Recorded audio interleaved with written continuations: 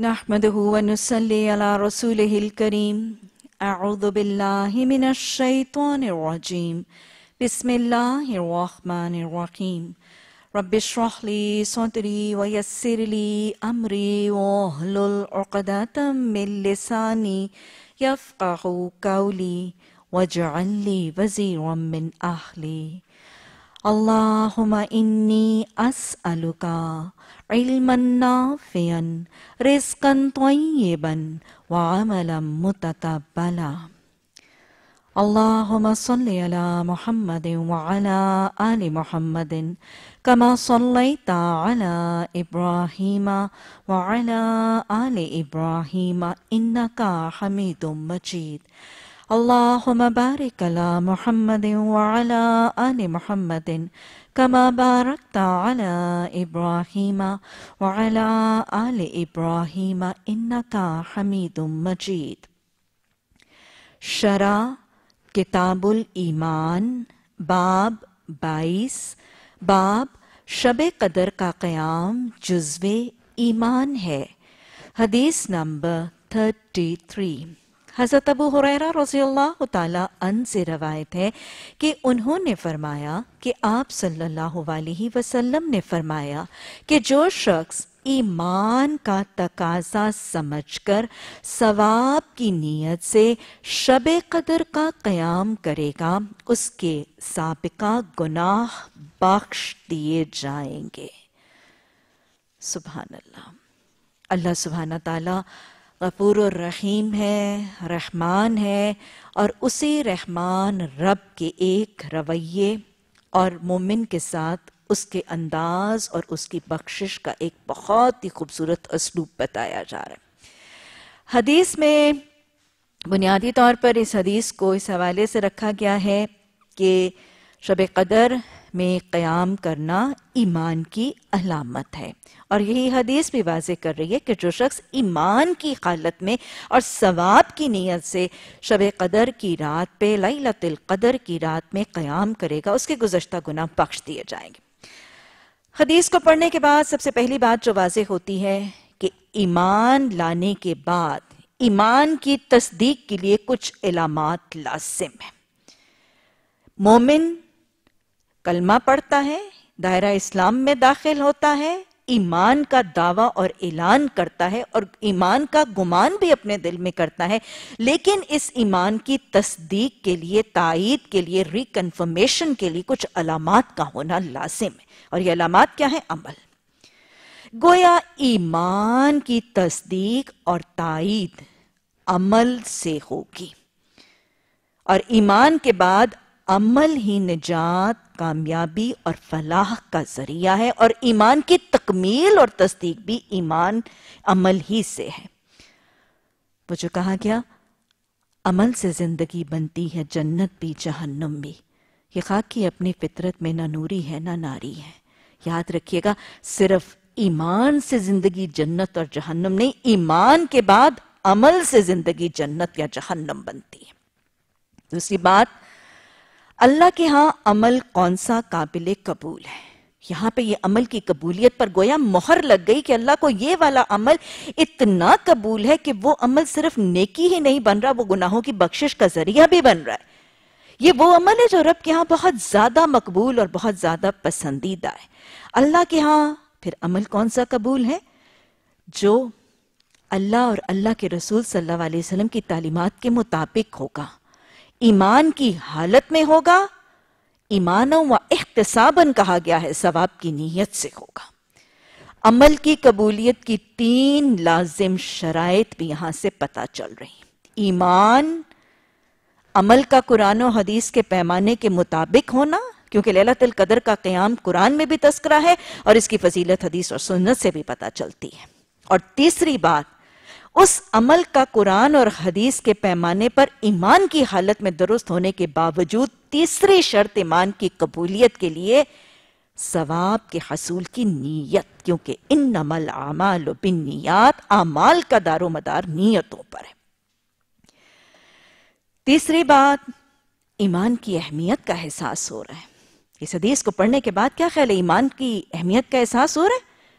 کہ کوئی عمل جب ایمان کی حالت میں کیا جائے گا تو وہ اتنا مقبول اور اتنا محبوب ہوگا کہ وہ ایمان کی حالت میں کیا جانے والا عمل گزشتہ گناہوں کی بخشش کا ذریعہ بن جائے گا۔ یہ ایمان کی اہمیت۔ یہ ایمان کی اہمیت جو ہے اس بات سے واضح ہو رہی ہے۔ گویا، میرے لیے، آپ کے لیے ہمارا سب سے قیمتی خزانہ، ہمارا، ہمارے اہل خانہ اور ہماری اولادوں کا ایمان ہے۔ آپ دیکھیں تو صحیح، دنیا میں اگر ہمیں کوئی عمل، کوئی ایکٹیویٹی، کوئی سرگرمی پتہ چل جائے جس کے ساتھ ہماری دنیا کی ساری ڈیفالٹ، سارے فائن، سارے ٹیکسز کلیئر ہو جائیں، ہم کیسے چپک جائیں نا اس چیز کے ساتھ؟ کتنی اہم لگے نا ہمیں وہ چیز۔ کسی پر کوئی فائن پڑ گیا، کوئی پینلٹی پڑ گئی، کوئی چان چالان ہو گیا اور اس کو پتہ چلے میں فلاں کام کروں گا، میرا چلان بھی چھوٹ جائے گا، میرا ٹیکس بھی چھوٹ جائے گا، میرا فائنز بھی چھوٹ جائیں گی، میری پینلٹیاں بھی چھوٹ جائیں گی۔ کتنی مضبوطی سے اس عمل کو پکڑ لے گا نا۔ تو گویا سب سے قیمتی خزانہ ہمارے نزدیک ہمارا ایمان ہے۔ وہ ایمان جو کیے جانے والے عمل کا درجہ اتنا بڑھا دیتا ہے کہ ایمان میں کیا جانے والا عمل صرف نیکی ہی نہیں، پچھلے گناہوں کی بخشش کا ذریعہ بھی بن جاتا ہے۔ پھر اس سے اخلاص اور صحیح نیت کی اہمیت کا بھی احساس ہو رہا ہے۔ کیونکہ پچھلے گناہوں کی بخش صرف ایمان میں نہیں، صحیح اور درست مخلص نیت کے ساتھ بھی ہوگی۔ ہر صاحب ایمان جب عمل کرے گا تو وہ گزشتہ گناہوں کی بخشش نہیں، ہر صاحب ایمان عمل کرے گا قرآن اور حدیث کے پیمانے پر۔ تو ہر ایسا صاحب ایمان عمل کرنے والا گزشتہ گناہوں کی بخشش کب پائے گا جب نیت کے اندر رب کو راضی کرنے کا اخلاص اور خلوص بھی ہوگا۔ یہ وہی ہے۔ علم کے ایک سمندر سے عمل کا ایک قطرہ بہتر ہے اور عمل کے ایک سمندر سے اخلاص اور خلوص کا ایک قطرہ بہتر ہے۔ کوئی خلوص اور اخلاص اور صحیح نیت کی بھی اہمیت پتہ چلتی۔ اور پھر اس کے بعد شب قدر کی اہمیت کا احساس ہوتا ہے۔ ایمان کی اہمیت، اخلاص اور صحیح نیت کی اہمیت، اور پھر شب قدر کی اہمیت۔ کہ شب قدر وہ چند راتیں، وہ چند راتیں آج ہم نے ترجمے میں بھی ان راتوں کی اہمیت اور اس کی برکات اور فیوز پر بات کی۔ وہ چند راتیں ان کا قیام اتنا خوبصورت عمل اللہ کے ہاں اتنا محبوب، اتنا افضل، اتنا پسندیدہ عمل اللہ کے ہاں۔ کہ وہ چند راتوں کا قیام گزشتہ سارے گناہوں کی بخشش کا ذریعہ بن جاتا ہے۔ یہ حدیث کی تعلیم ہے۔ قرآن نے بھی اس رات کی فضیلت کو بیان کیا ہے سورہ القدر میں۔ انا انزلناہ فی لیلت القدر وما ادراک ما لیلت القدر۔ لیلت القدر خیر من الف شہر تنزل الملائکت والروح فیہا بی اذن ربهم من کل امر سلام حتی مطلع الفجر۔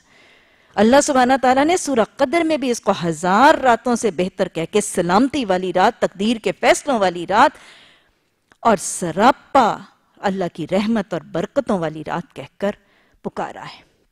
اس کی فضیلت قرآن نے بھی بتائی اور اس کی فضیلت اس حدیث کے علاوہ اور بھی بہت احادیث مبارکہ نے بتائی۔ گویا ایک اور بات واضح ہو رہی۔ قرآن اور حدیث کے احکامات، تعلیمات میں بالکل مماثلت موجود ہے۔ قرآن جس چیز کو اہمیت دیتا ہے، قرآن جس چیز کی فضیلت بتاتا ہے، قرآن جس چیز کو افضل قرار دیتا ہے، حدیث اور صرف حدیث ہی نہیں، سنت بھی اس کی تصدیق اور تائید کرتی نظر آتی ہے۔ قرآن نے لیلت القدر کی فضیلت بیان کی، حدیث، اس حدیث نے اور آگے آنے والی کچھ حدیث اس کی تصدیق کرتی نظر آتی ہیں، مزید اس کی فضیلت اور برکتیں بتاتی نظر آتی ہیں۔ اور سنت بھی اس کی تصدیق اور تائید کرتی نظر آتی ہے۔ قرآن نے فضیلت بتائی، آپ نے مزید فضیلت کی تشریح الفاظ سے فرمائی اور سنت سے بہترین نمونہ رقم فرمایا۔ حضرت عائشہ، آپ کی سنت کا طریقہ؟ آپ صلی اللہ علیہ وسلم کے حوالے سے حضرت عائشہ کے اقوال موجود ہیں کہ آپ آپ رمضان کی ساری ہی راتوں میں عبادت میں بہت مشقت اور محنت فرماتے، لیکن جب رمضان کا آخری اشرا آ جاتا تو آپ عبادت کی مشکر پر کمر باندھ لیتے تھے یعنی پہلے سے بھی زیادہ مشقت سے عبادت کرتے تھے۔ اور پھر صرف خود اپنے لیے نہیں، حضرت عائشہ فرماتی ہیں، آپ خود بھی کمر بستہ ہو جاتے تھے اور اپنے اہل خانہ کو بھی جگاتے تھے۔ وہ یا قرآن کا حکم ہے قوان فسقم و نارا۔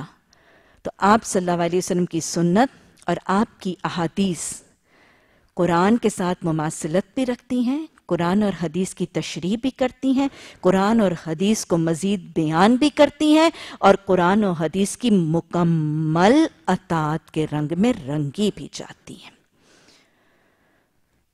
رسول اللہ صلی اللہ علیہ وسلم کا ایک اور عمل نظر آ رہا ہے کہ آپ رب کی رضا، جنت کے حصول اور نیک عمل کے کرنے کے حریص خود بھی تھے اور اہل خانہ کے لیے بھی ان چیزوں کے شدید حرص رکھنے والے بھی تھے۔ اور سب سے بڑھ کر قرآن کی اس آیت کی بھی تصدیق ہو رہی ہے۔ اسی حدیث سے اللہ سبحانہ تعالیٰ نے فرمایا، ان الحسنت یوزہبن السیئات کچھ نیکیاں ایسی ہیں کہ وہ گناہوں کو لے جاتی ہیں۔ میں نے اس نے آپ کو وضاحت سے ایک بہت طویل لسٹ جو ہے وہ بتائی تھی کہ کون سے نیک عمل ایسے ہیں جو گناہوں کو، گناہوں کی بخشش کا ذریعہ بنتے ہیں۔ آج اس عمل کو پھر دوہرا لیجیے۔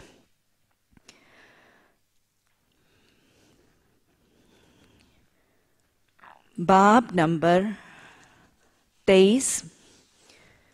باب نمبر تیئیس، حدیث نمبر تھرٹی فور۔ باب تیئیس، جہاد ایمان کا حصہ ہے۔ جہاد اور ایمان کا گویا آپس کا ایک رشتہ، جوڑ اور چولی دامن کا ساتھ۔ ایمان کا مطلب مان لینا۔ اور مان لینے کے بعد جس چیز کو مانا ہے، اس پر عمل کرنا اور کروانے کے لیے محنت، کوشش، صحیح اور ایفرٹ کرنا ہوگا اور یہی جہاد ہے۔ گویا ماننے کے بعد کوشش، صحیح اور جہد کرنا لازم ہے۔ یوں جہاد اور ایمان کا آپس میں گہرا رشتہ موجود۔ میرا خیال ہے بات سمجھ میں آئی؟ جب کوئی شخص کسی چیز کو مان لیتا ہے، تو ماننے جانے والی چیز پر تو عمل بھی کرنا ہے۔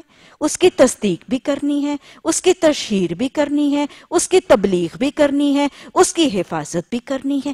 اور مانے جانے والی چیز کا یہ سب کچھ کرنے کے لیے پھر کیا کرنا ہوگا؟ محنت کرنی ہوگی، مشقت کرنی ہوگی، صحیح کرنی ہوگی، دوڑ دھوپ کرنی ہوگی ایفرٹ کرنی ہوگی۔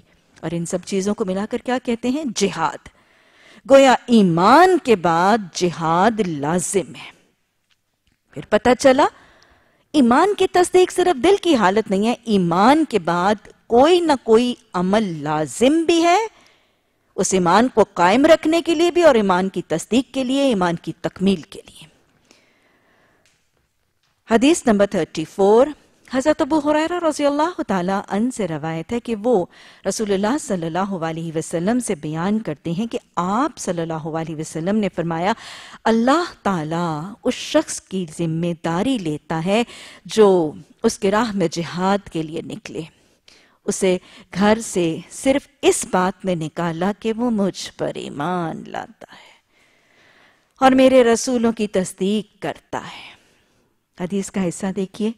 اللہ سبحانہ تعالیٰ ذمہ لے رہے ہیں مجاہد فی سبیل اللہ کا۔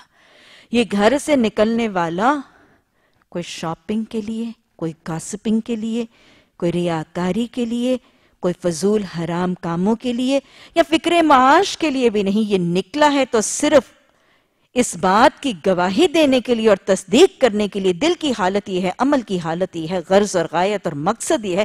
اس غرض و غایت، مقصد اور اس ایمان کی حالت سے نکلنا والا مجاہد ہے۔ اور اللہ نے اس مجاہد فی سبیل اللہ کی حفاظت کا ذمہ لے لیا۔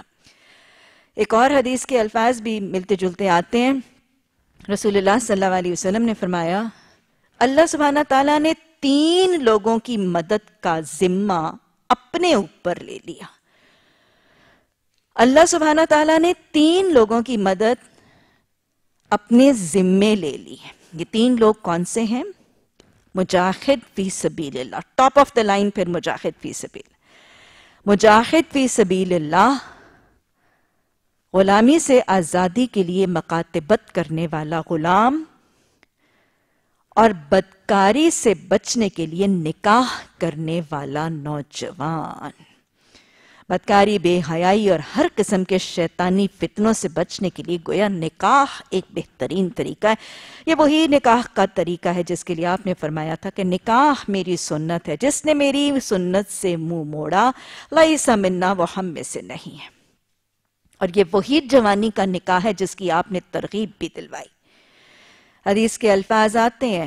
آپ صلی اللہ علیہ وسلم نے فرمایا، اولاد کا والدین پر یہ حق ہے۔ اولاد کا اولاد میں بیٹیاں بھی ہیں اور بیٹے بھی ہیں۔ اولاد کا والدین پر یہ حق ہے کہ جب وہ بالغ ہو جائے تو اس کا نکاح کیا جائے۔ اور اس نکاح کے لیے حضرت علی کو رسول اللہ صلی اللہ علیہ وسلم نے تاکید بھی فرمائی تھی کہ علی تین کاموں میں دیر نہ کرنا۔ ان کو پوسپون نہ کرنا، ان کو ڈیلے نہ کرنا، بغیر وجہ کے ٹال مٹول لٹک نہ کرنا۔ تین کاموں میں دیر نہ کرنا۔ فرض نماز کی ادائیگی میں جب نماز کا وقت آ جائے۔ فرض نماز کی ادائیگی میں جب نماز کا وقت آ جائے۔ میت کے دفنانے میں جب جنازہ تیار ہو جائے اور لڑکی کے نکاح کرنے میں جب برابری یا کف کا رشتہ میسر آ جائے۔ یاد رکھیے گا رشتے میں قف اور برابری اور اکوالٹی کو۔ اس کے مال، اس کی تعلیم، اس کا سوشل لیول شریعت اس کو بھی دیکھنا، اس کی بھی ترغیب موجود ہے حدیث میں۔ بے جوڑ کے رشتے جو باندھ دیے جاتے ہیں، شریعت اس کو بھی پسند نہیں کرتی۔ اور قف کا رشتہ جب میسر آ جائے، تو اس میں بھی دیر نہ کرنا۔ حدیث کے الفاظ اتنے کڑے ہیں کہ آپ صلی اللہ علیہ وسلم نے فرمایا کہ جب جب ایک باپ اپنی بیٹی کے نکاح میں تاخیر کرتا ہے۔ اس کے بالغ ہو جانے کے بعد اس کے نکاح میں تاخیر کرتا ہے اور وہ بدکاری کی طرف مائل ہوتی ہے۔ تو اس کا گناہ اس کے باپ پر بھی منتقل ہوتا ہے۔ اگر حفاظت کر سکتے ہو ان خزانوں کی، تو کر لو۔ اور اگر نہیں کر سکتے، تو نکاح سے معاملہ سمیٹ دو۔ بہت خوبصورت تعلیمات ہیں۔ اور یاد رکھیے گا، یہ بیٹوں بیٹیوں دونوں کے لیے۔ اب اوقات آج کے معاشرے میں لڑکوں کا نکاح محض اس لیے نہیں کیا جاتا کہ یہ یہ ایک گمان اور یہ فکر ہوتی کہ یہ اپنے قدموں پہ کھڑا نہیں ہے۔ یہ بھی اپنے آپ کو مالی طور پہ یا اکنامکلی معاشی طور پہ سپورٹ کرنے کے قابل نہیں، اپنے آپ آپ کو نہیں اٹھاتا کسی اور کو کیا اٹھائے گا۔ تو اس پر اللہ سبحانہ تعالیٰ نے قرآن میں فرمایا یغنیہم اللہ تم اگر ان بدکاری کے کاموں سے بچنے کے لیے نکاح کرو گے تو اللہ تمہیں غنی کر دے گا۔ اللہ تمہارے معاشی رازق تو اللہ ہے۔ رازق تو اللہ ہے۔ اس کی رضا کا کام کرو۔ گے اور حدیث نے یہاں پہ بتا دیا کہ اگر کوئی شخص بدکاری کی بدکاری سے بچنے کی نیت کے لیے اگر کوئی نوجوان نکاح کرے گا تو پھر اللہ نے اس کی مدد کا ذمہ اپنے اوپر لے لی قرآن میں اللہ نے کہہ دیا، میں اس کو غنی کر دوں گا۔ اور حدیث نے مزید تصدیق کر لی کہ اگر کوئی جوانی کی بدکاری سے بچنا چاہتا ہے اور وہ جلدی عمر میں نکاح کر لیتا ہے، حالانکہ ابھی اپنی معاشی کفالت نہیں کرنے کے قابل، تو اللہ نے اس کی حفاظت کا ذمہ لے لی یاد رکھ لیجیے گا۔ جو بھی صبر کر کے اللہ کی اطاعت کرے گا، ان اللہ مع الصابرین کا وعدہ قرآن میں موجود ہے۔ یاد رکھیے گا، اللہ کی اطاعت کے لیے صبر کرنا پڑتا ہے۔ مشکلات برداشت کرنی پڑتی۔ تو جب کوئی اللہ کی اطاعت کے لیے کسی قسم کی مشکل برداشت کرنے کی نہیں نکلے گی اللہ اللہ سبحانہ تعالیٰ ضرور مدد کرتا ہے۔ وعدہ موجود ہے، ان اللہ مع الصابرین۔ تو حدیث میں یہاں پہ اللہ سبحانہ تعالیٰ نے رسول اللہ صلی اللہ علیہ وسلم نے جو فرمایا کہ اللہ ذمہ لے لیتا ہے مجاہد فی سبیل اللہ کا۔ حدیث کے الفاظ، ایک اور جگہ مفہوم، اگر میں آپ کو حدیث کا بتاؤں کہ حدیث کے الفاظ اور مفہوم کچھ ایسا ہے کہ آپ صلی اللہ علیہ وسلم نے فرمایا کہ اللہ سبحانہ تعالیٰ فرماتے ہیں، جو شخص میرے کام میں نکلے گا، میں اس کے کام بنا دوں گا۔ اور ہمیں یہ بھی احادیث سے پتا چلتا ہے کہ جو شخص دین کی حفاظت کے لیے نکلتا ہے، اللہ اس کی حفاظت فرماتا ہے۔ تو پھر سوچیں ذرا، کیا یہ سودا مہنگا ہے؟ اللہ کے راستے میں جہاد، کوشش، محنت، صحیح کرنے کا سودا مہنگا ہے؟ مجھے بتائیں، ہم اپنے کام بنانے یا ہم اپنے اہل خانہ یا اپنے گھریلو کام ہم نپٹانے لگیں تو بہتر نپٹا سکتے ہیں یا میرا رب میرے کام نپٹائے گا تو بہتر نپٹائے وہ خالق، وہ مالک، وہ رازق، وہ نپٹا دے گا اور وہ سیٹل کر دے گا اور وہ سنوار دے گا تو وہ بہتر سنوارے گا یا میں اپنے خود نپٹا سکتی ہوں؟ اور میں اپنے مال و متا اور چیزوں اور عزت اور آبرو اور معاملات کی حفاظت میں بہتر کر سکتی ہوں یا وہ حفیظ بہتر کر سکتا ہے؟ اللہ ہمیں ایمان بھی عطا فرمائے اور اللہ ہمیں زندگی میں توکل اور کنات کے زیورات سے بھی راستہ فرمائے۔ اللہ یہ احادیث جو ہم پڑھتے ہیں، اللہ ان کو ہماری زندگی کا بہترین خزانہ بنا کے، اللہ ان کو ایمان کو تقویت دینے والا خزانہ بنا دے۔ تو اللہ سبحانہ، رسول اللہ صلی اللہ علیہ وسلم نے فرمایا کہ جو میرے راستے میں نکلے گا اس سے اس کے گھر سے صرف اس بات نے نکالا کہ وہ مجھ پر ایمان رکھتا ہے اور میرے رسولوں کی تصدیق کرتا ہے، تو میں اسے ثواب یا مال غنیمت کے ساتھ واپس کروں گا جو اس نے جہاد میں پایا اور یا اسے شہید بنا کر جنت میں داخل کر دوں گا۔ یاد رکھیے گا، مومن کے لیے ہر دو حالتوں میں خیر ہی خیر ہے۔ مومن کے لیے ہر حال میں خیر ہی خیر میدان جنگ میں بھی ہر حالت میں اسے خیر ہی ملتی ہے۔ جہاد میں قتال فی سبیل اللہ میں جنگ کی حالت میں جب وہ دشمنوں کے خلاف نبرود آزما ہے میدان جنگ میں کوتا تب بھی اس کو ہر حال میں خیر ہی خیر ملنی ہے۔ اور زندگی کے عام معمولات میں جب اس پر تکلیف آتی ہے، تب بھی اس کو خیر، اس کو حدیث میں آتا ہے نا کہ مومن کے لیے ہر دونوں حالتوں میں خیر ہے۔ اس کو نعمت ملتی ہے، وہ شکر کرتا ہے اور اللہ سے بہترین اجر پاتا ہے۔ اس کو تکلیف آتی ہے، وہ صبر کرتا ہے اور اللہ کو راضی کرتا ہے۔ تکلیف آئے، تب بھی مسلمان کے لیے رحمت، اور مشکل آئے، تب بھی مومن کے لیے رحمت۔ اسی طرح وہ میدان جنگ میں جاتا ہے، جنگ کرتا ہے، جہاد کرتا ہے۔ کیا ہوگا؟ دو سچویشنز کیا ہوتی ہیں جنگ میں؟ یا یا وہ کامیاب ہو جاتا ہے، وہ خود غالب آ جاتا ہے۔ فتح اس کے ساتھ شامل حال ہوتی ہے، جب فتح ملتی ہے، تو اس کو حکومت ملتا ہے، عہدہ ملتا ہے، ترقی ملتی ہے، اس کی دنیا میں فلاح آتی ہے، بہت سا مال غنیمت بھی سمیٹتا ہے، غازی بن کے واپس پلٹتا ہے۔ یہی ہوتا ہے نا فتح یاب ہونے والے کی۔ جو فتح فتح کے ساتھ اللہ سبحانہ تعالیٰ جن کے شامل حال کر دیتا ہے، وہ مجاہد، وہ ایک خطے کا بھی مالک بنتا ہے مال غنیمت بھی سمیٹتا ہے، عزت بھی پاتا ہے، ناموری بھی پاتا ہے، دنیا میں بھی اس کو مال و متا ملتا ہے، اور کیا ملتا ہے؟ اللہ کی رضا بھی دنیا میں۔ غازی بن کے پلٹتا ہے تو بہت سی برکتیں سمیٹتا ہے۔ لیکن اگر وہ مغلوب ہو جاتا ہے اگر وہ مغلوب ہو جاتا ہے، دشمن اس پر غالب آ جاتا ہے، تو پھر میکسیمم کیا ہوگا؟ وہ شہید ہو جائے گا۔ وہ مارا جائے گا اللہ کے راہ میں۔ یہ وجہ اللہ کے راہ میں مارے جانے والے ہیں۔ اس کا معاملہ کیا ہے؟ اس کی شان تو ایسی ہے نا کہ اس کے لیے اللہ نے قرآن میں فرما دیا۔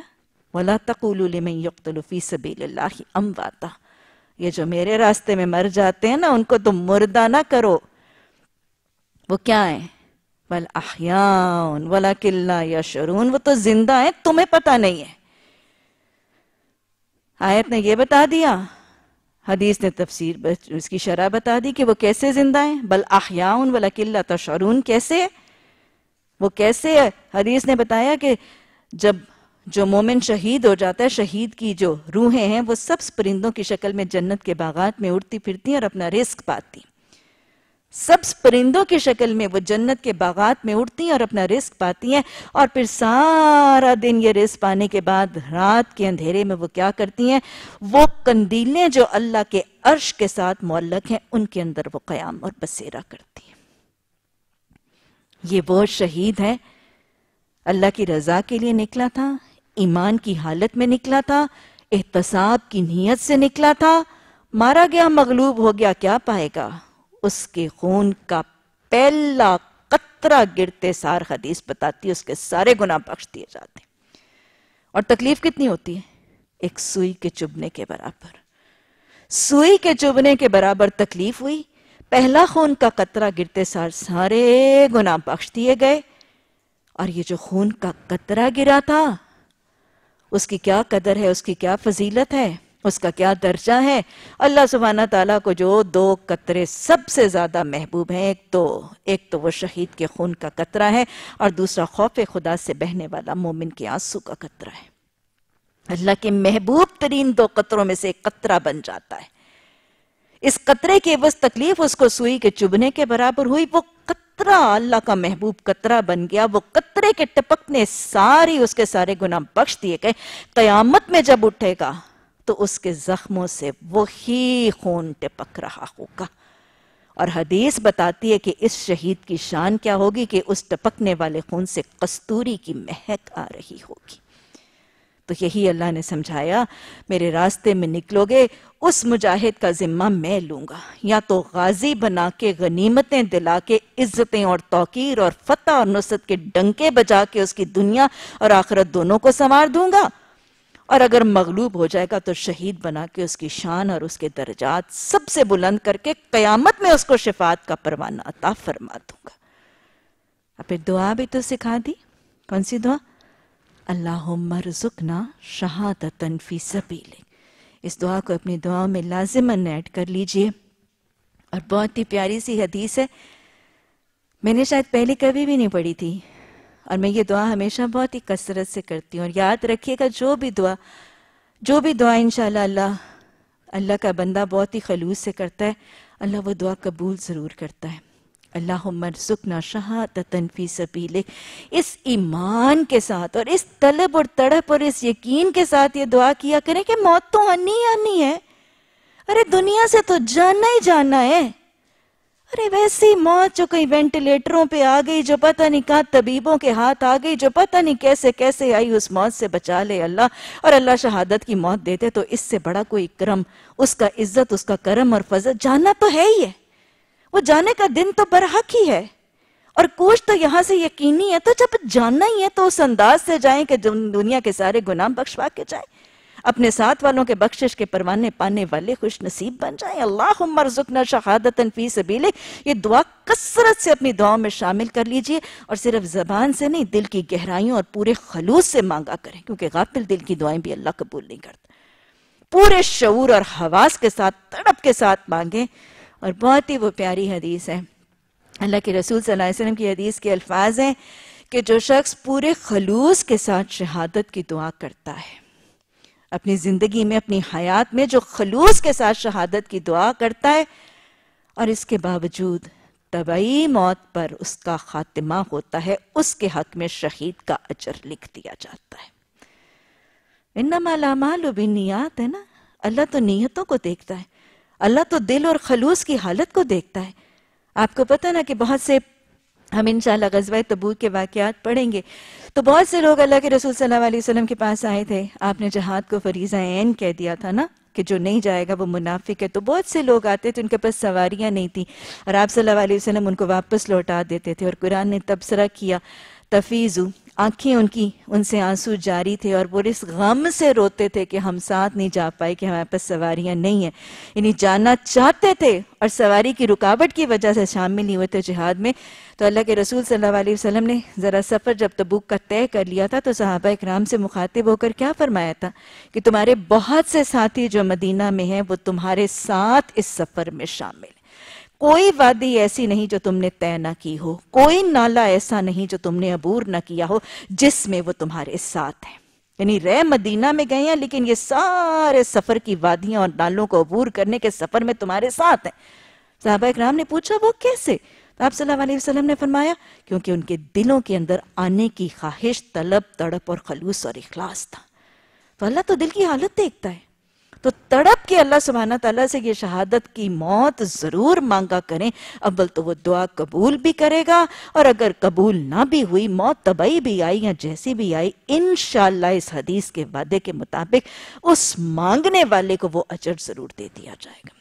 اللہم ارزقنا شہادتا فی سبیلک۔ تو اللہ سبحانہ تعالیٰ نے فرمایا کہ جو راستے میں نکلا تھا، اسے شہید بنا کے میں جنت میں داخل کر دوں گا۔ اللہ کے رسول صلی اللہ علیہ وسلم نے یہ سارا کچھ بتانے کے بعد کیا فرمایا؟ آپ نے فرمایا کہ اگر اگر میں اپنی امت پر دشوار نہ سمجھتا، تو کبھی بھی چھوٹے سے چھوٹے لشکر سے بھی پیچھے بیٹھ نہ رہتا۔ اور میری یہ آرزو ہوتی کہ اللہ کی راہ میں مارا جاؤں، پھر زندہ کیا جاؤں، پھر مارا جاؤں، پھر زندہ کیا جاؤں اور پھر مارا جاؤں۔ یہ ہے توقیر، یہ ہے عزت ایک شہید کی، جس کے، اس عزت کے، اس کرم کے، اس فضل کے حبیب خدا صلی اللہ علیہ وسلم، جن کے لیے بخشش کے پروانوں کا وعدہ کر دیا گیا تھے وہ اتنے حریص کیا درجہ ہوگا، کیا عزت ہوگی اور کیا توقیر ہوگی اور کیا فضیلت ہوگی؟ آپ نے کیا فرمایا کہ مجھے اگر اس بات کی فکر نہ ہوتی کہ یہ امت پر دشوار ہوتا۔ آپ صلی اللہ علیہ وسلم نے دین کے اندر کوئی بھی سنت دشواریوں کی جاری کرنے سے شدید پرہیز فرمایا۔ مثلا آپ دیکھیں نا، وہ حدیث بھی آتی ہے، آپ صلی اللہ علیہ وسلم نے فرمایا کہ اگر اگر مجھے یہ فکر نہ ہوتا کہ یہ امت پر شاک گزرے گا، تو میں سب کو کیا کہتا؟ ہر وضو کے ساتھ مسواک کروں۔ یعنی آپ نے مسواک کرنے کو بہت زیادہ پسند کیا تھا، لیکن امت کی ذرا سی سہولت کے لیے کہ پتہ نہیں شاید سب کر نہیں پائیں گے، کسی کو شاید ٹائم نہیں ہوگا، کسی کو کچھ ہوگا مسئلہ۔ تو اس کی پسندیدگی اور اس کے استحباب اور اس کے بہت زیادہ اجر کے بڑھ جانے کی طرف آپ نے مائل تو کر دیا۔ آپ کو پتہ ہے کہ جو جو وضو نماز سے پہلے کیا جائے، جس میں مسواک کے ساتھ وضو کیا جائے، تو اس کی، اس نماز کا اجر، اس کا درجہ کتنا بڑھ جاتا ہے؟ ستر گنا بڑھ جاتا ہے۔ آپ نے اس اجر کی ٹیمپٹیشن حدیث کے ذریعے دے دی، لیکن اس کو سنت موقدہ بنا کے جاری نہ کیا کہ اگر کوئی نہ کر پایا تو وہ سنت موقدہ کو ترک کرنے والا نہ بن جائے۔ کیونکہ آپ کو معلوم ہے کہ سنت موقدہ کو ترک کرنا جو ہے، وہ نمازوں کے اندر بھی ہم یہ معاملہ جو ہے وہ دیکھ چکے ہیں۔ اسی طرح جیسے تراوی کا عمل، آپ صلی اللہ علیہ وسلم قیام اللیل کا تذکرہ آیا، آپ نے ایک رات پڑھائی، دو رات پڑھائی، تیسری رات پڑھائی، لیکن چوتھے دن بہت سے لوگ بھی جمع تھے، تو آپ نے کیوں نہیں پڑھائی تھی؟ کہیں یہ رمضان کے راتوں کے قیام یہ سنت موقدہ نہ بن جائے۔ اس کی بہت زیادہ فضیلت بتا دی۔ آگے بھی ابھی فضیلت آئے گی۔ اس کے بہت زیادہ قدر و منزلت بتا دی۔ لیکن اس کو امت کے لیے ایک مشقت کہ سب کے لیے ایک سنت موقدہ نہ بن جائے۔ اس وجہ سے آپ نے اس کو پابندی سے نہیں اپنایا۔ با جماعت کا انداز آپ نے پابندی سے نہیں اپنایا۔ تو اس بنیاد پر آپ فرماتے ہیں کہ میں کچھ غزوات میں شامل ہوتا تھا، حالانکہ میں شہادت کا، جہاد کا، شہادت اور جہاد کی ساری فضیلتیں پانے کا سب سے زیادہ حریص ہوں اور اتنا زیادہ حریص ہوں شہادت کا۔ لیکن میں امت کے لیے جہاد کو فریضہ عین اور سنت موقدہ کی سنت قائم کرنے کے حوالے سے کچھ جنگوں پہ جاتا ہوں اور کچھ پہ نہیں جاتا۔ آپ صلی اللہ علیہ وسلم کی طرف سے یہ کچھ غزوات کچھ جنگوں پہ رک جانا۔ آپ کو پتہ ہے کہ وہ جنگیں جن میں آپ شامل ہوتے تھے ان کو غزوہ کہا جاتا ہے اور جن میں آپ رک جاتے تھے ان کو سریہ کہا جاتا ہے۔ تو آپ نے اپنے کچھ جنگوں پہ نہ جانے کی توجہ بتائی کہ یہ میں اپنے ذاتی معاملات یا مشغولیات یا اپنی مصروفیات کی بنیاد پہ نہیں، اس بنیاد پر کہ یہ امت کہیں اس سنت کی وجہ سے مشقت میں نہ پڑ جائے۔ ہمارا دین آسان ہے، سہل ہے۔ اور سنتوں میں بھی امت کی سہولت آسانی کا بھرپور اہتمام کیا گیا۔ اللہ سبحانہ تعالی ہمیں ان باتوں اور شرع دین کی ان حکمتوں کو سمجھنے اور ان کی آسانیوں کو پہچان کر ان کو اپنانے کی توفیق عطا فرمائے۔ باب چوبیس، باب رمضان میں تراوی پڑھنا بھی ایمان میں سے ہے۔ ابھی پیچھے ہم نے دیکھا کہ لیلت القدر کی راتوں میں قیام کرنا اللہ کے رسول صلی اللہ علیہ وسلم نے فرمایا کہ وہ ایمان کی علامت ہے۔ اب یہاں پہ پتہ چل رہا ہے کہ رمضان میں تراوی پڑھنا یعنی صرف آخری راتوں میں نہیں، آخری عشرے کی تاک راتوں میں نہیں، باقی کے سارے رمضان میں بھی تراوی پڑھنا وہ بھی ایمان میں سے ہے۔ حدیث نمبر پینتیس حضرت ابو حریرہ رضی اللہ تعالیٰ عنہ کی روایت سے حدیث آتی ہے کہ رسول اللہ صلی اللہ علیہ وسلم نے فرمایا کہ جو شخص رمضان میں ایماندار ہو کر، ایماندار یعنی ایمان کی حالت میں حصول ثواب کے لیے رات کے وقت قیام کرے گا، تو اس کے سابقہ گناہ معاف کر دیے جائیں گے۔ پچھلی حدیث کی طرح وہی باتیں، وہی اصول، اہمیت کے پوائنٹس نظر آتے ہیں کہ ایمان کی تصدیق کے لیے عمل لازم ہے۔ عمل کون سا اللہ کے ہاں قابل قبول ہے؟ عمل کی قبولیت کے لیے تین شرائط کیا ہیں؟ تیسری بات، ایمان کی اہمیت پتہ چلتی ہے، خلوص اور نیت کی اہمیت پتہ چلتی ہے۔ اور یہاں پر لیلت القدر کے بجائے قیام اللیل، رمضان کے قیام اللیل یعنی تراوی کے اہتمام کی فضیلت پتہ چلتی ہے۔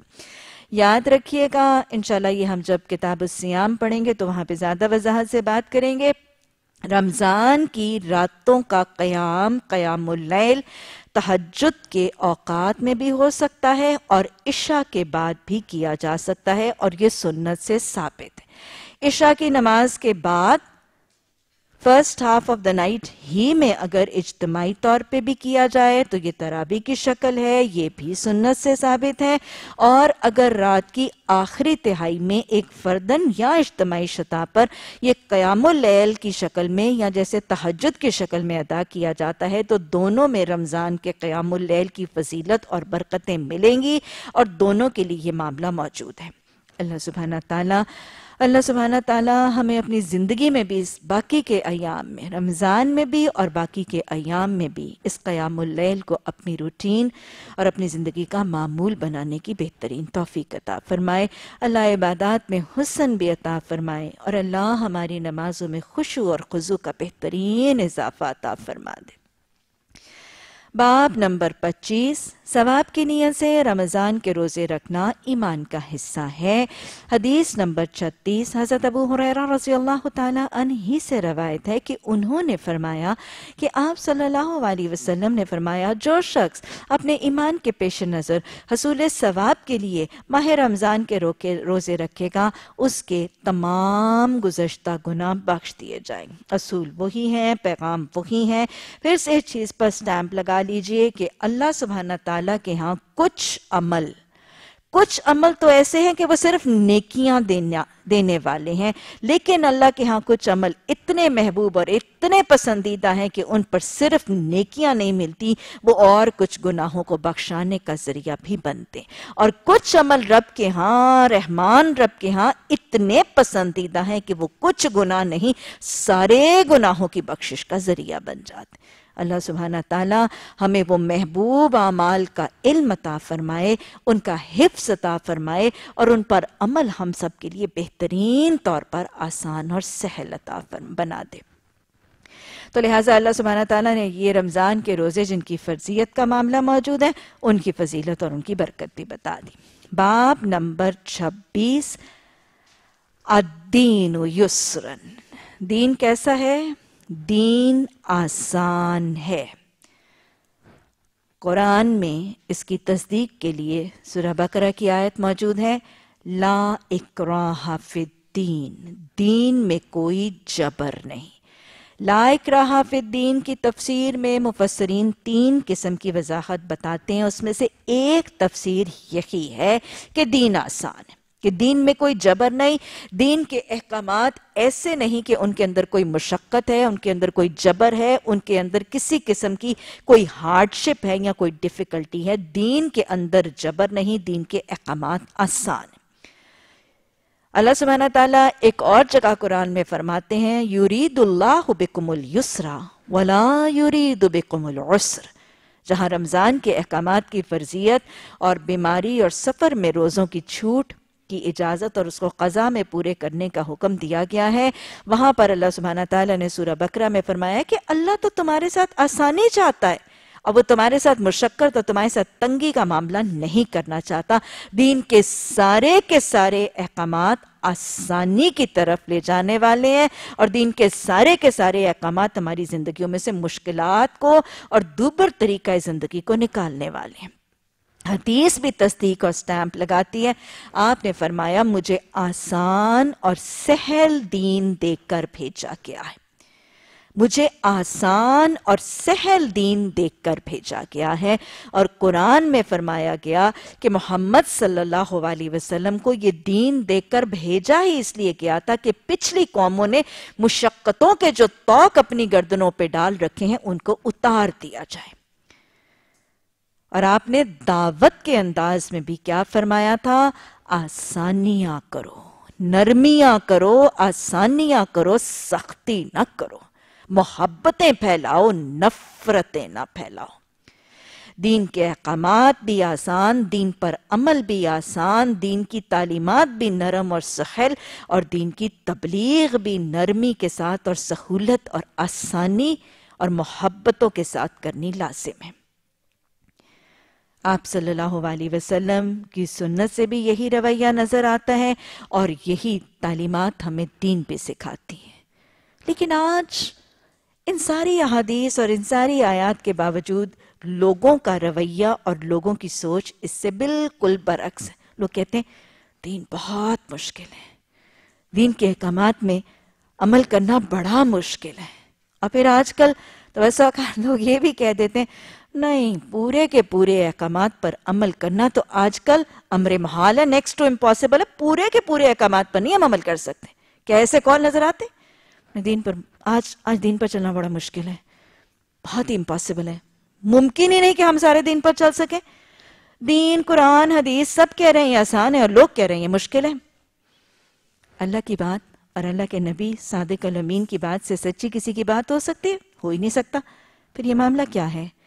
اصل بات اور اصل مسئلہ یہ ہے کہ آج ہم ان شیطانی طریقوں، یہود اور نصارہ کے طریقوں کے پیچھے چل کر ان کے اتنے قیدی، اتنے اسیر، اتنے غلام اپنی گردنوں میں اتنے ان کی اطاعت کے توق ڈال لیے کہ وہ مشکل طریقہ زندگی ہمارے لیے آسان ہو گیا جو مشکل رسومات ہیں، جو مشکل لباس ہے جو مختلف مشکل طریقے ہیں، جو مشکل قسم کے سسٹمز آف لائف ہیں، وہ ہمارے لیے آسان ہو گئے ہم عادی یاد رکھیے گا، جس چیز کا انسان عادی ہو جاتا ہے نا، وہ کام کرنا آسان ہونا وہ آسان لگتا ہے۔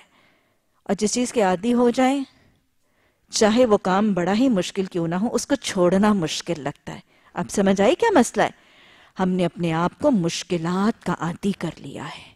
اور اب آسانیاں ہمیں مشکل اور مشکلات ہمیں آسان لگنے لگی۔ ہیں اللہ سبحانہ تعالیٰ اس دین کی سہولتوں کو سمجھنے والا بنا دے۔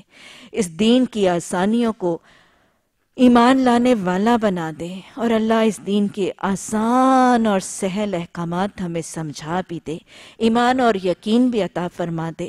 اللہ ریب اور تذبذب کی شکار کی کیفیت میں سے نکال کر اللہ صد کے دل سے ان آسان ضابطہ حیات اور طریقوں کو اپنانے والا خوش نصیب بنا دے۔ اللہ ہماری زندگیوں میں وہ توق جو مشقتوں کے، جو رسومات کے، جو بدعات کے، جو شرک کے آج معاشرے نے اپنے گلے میں ڈال رکھے ہیں۔ اللہ شرح صدر ہو کے، ان دین کی تعلیمات کو مان کے ان توقوں کو اتار کر اپنی زندگیوں میں سہولتیں لانے کی توفیق عطا فرما دے۔ تو آپ صلی اللہ علیہ وسلم نے فرمایا، یہ دین کیا ہے؟ یہ دین تو بنیادی طور پر بہت ہی آسان ہے۔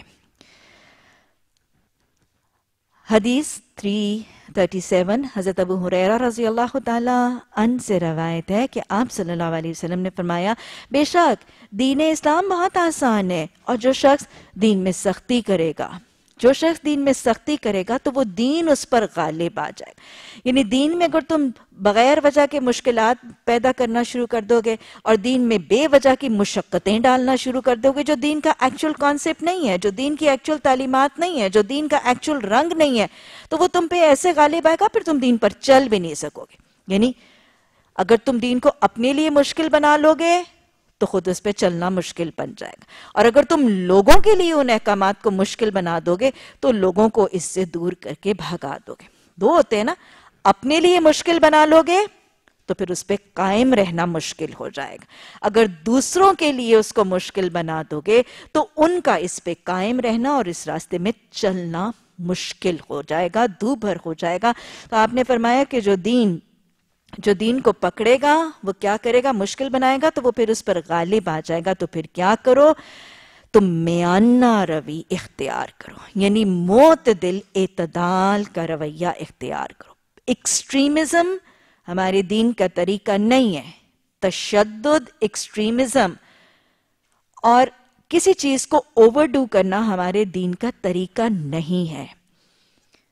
مسلمان ایکسٹریمسٹ نہیں ہوتا۔ ایکسٹریمزم اسلام کا رنگ اور تعلیم نہیں ہے۔ تشدد کا طریقہ، شریعت کا طریقہ نہیں ہے۔ دیندار مشدد نہیں ہوتا۔ یہی تعلیم سکھائی جا رہی ہے۔ میانہ روی کا زندگی کا طریقہ اپنا لو۔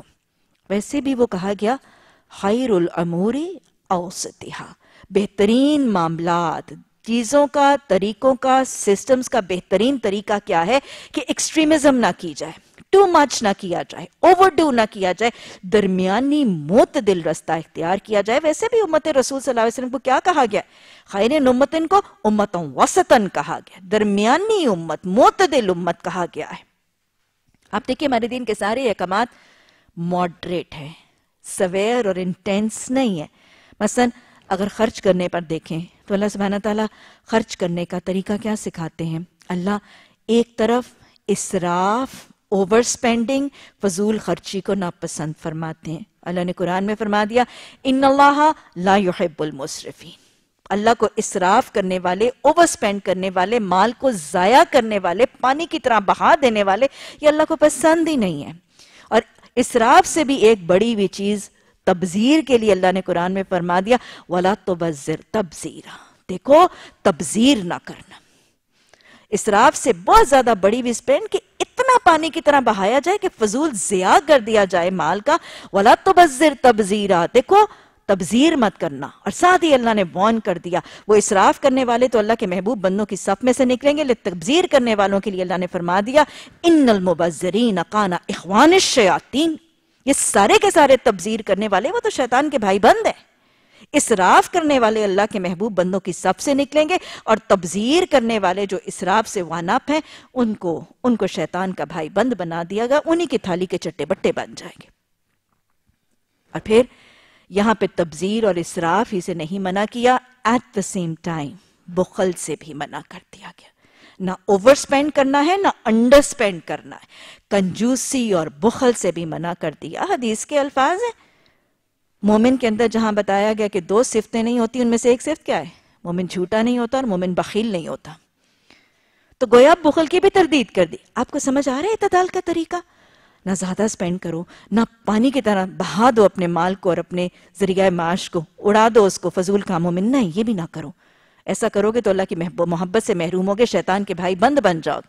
اور آن دا کانٹری اگر تم بخل کرو گے، کنجوسی کرو گے، وہ چیزیں جن پر خرچ کرنا تمہارے لیے جائز ہے خلال ہے، خرچ کیے جانے والوں کا تم پر حق ہے، ان پر بھی اگر خرچ نہیں کرو گے تو یہ بخل ہے۔ اور بخر کے لیے اللہ نے فرما دیا، وَلَا يَحْسَبَنَّ الَّذِينَ يَبْخِلُونَ بِمَا آتَاهُمُ اللَّهُ مِن فَضْلِهِ هُوَ خَيْرٌ لَكُمْ بَلْ هُوَ شَرٌ لَهُمْ. وہ لوگ جو بخل کرتے ہیں، وہ اس بخل کو اپنے حق میں بہتر نہ سمجھیں، وہ تو ان کے لیے بہت ہی برا ہے۔ سَيُطَوَّقُونَ، یہ بخل والا مال ان کے گلوں کا توق بن جائے گا۔ تو لہٰذا یہ ہمارا معتدل دین ہے۔ یہ معتدل دین ہے جو اللہ سبحانہ تعالیٰ نے ہمیں دین کا تصور جو ہے وہ سکھایا۔ اللہ سبحانہ تعالیٰ مال کے لیے ریا اور دکھاوے کو بھی پسند نہیں کرتے۔ اللہ سبحانہ تعالیٰ ریا کو، دکھاوے کو شو آف کو اس کو بھی پسند نہیں کرتے۔ لیکن ساتھ ساتھ اس قرون عمتی اللہ نعمت علیکم، تحدیث نعمت کا تذکرہ بھی فرماتے ہیں۔ حدیث بھی تحدیث نعمت اور اظہار نعمت کا تذکرہ بھی فرماتی ہے۔ آپ نے اس شخص کو کیا کہا؟ بال بکھرے ہوئے تھے، کپڑے پھٹے، پرانے تھے، پوچھا کیا یہ فقیر ہے؟ کہا گیا نہیں۔ یہ صاحب مال ہے، یہ غنی ہے۔ آپ نے فرمایا، پھر اس کے حلیے سے، اس کے حال سے، اس کی نعمتوں کا اظہار ہونا چاہیے۔ ریاض سے دین منع کرتا ہے، اظہار سے اور شو آف سے منع کرتا ہے، لیکن ایٹ دا سیم ٹائم تحدیث سے نعمت اور اظہار نعمت شکرانے نعمت کے طور پر اس کی طرف مائل بھی کرتا ہے۔ تو ہمارا دین بنیادی طور پر دین اعتدال ہے، ایک بیلنسڈ لائف سٹائل ہے اللہ سبحانہ تعالیٰ نے فرم... رسول اللہ صلی اللہ علیہ وسلم نے فرمایا کہ ایک تو کیا کرو میان روی اختیار کرو اور قریب رہو۔ یعنی دین کے احکامات کے قریب رہو، اللہ کا بھی قرب پاؤ، خوش ہو جاؤ، خوشخبری پاؤ، خوش ہو جاؤ۔ کہ تمہیں ایسا دین ملا ہے اور کیا کرو؟ وسطینو مدد حاصل کرو۔ مدد حاصل کرنے کا حکم کس سے دیا گیا تھا؟ وسطینو بے صبری وسلات تو یہاں پر نماز کے اوقات کا بیان کیا جا رہا ہے۔ وسطینو مدد حاصل کرو کہاں پر؟ بالغدوتی سات صبح۔ ورروحاتی روحا کہتے ہیں، غدوہ کہتے ہیں صبح کے سیر کو، اور روحا کہتے ہیں ایوننگ اور شام کی سیر کو۔ چہل قدمی وغیرہ واک جو کی جاتی ہے نا، یہ بنیادی طور پر اس واک کے لیے۔ ساتھ صبح کی سیر روحاتی دوپہر کے وقت آفٹرنون کے بعد ارلی ایوننگ کی واک وشی من دل جاتی دلچا بنیادی طور پر کنویں میں ڈول گرا کر پانی نکالنے کو کہتے ہیں۔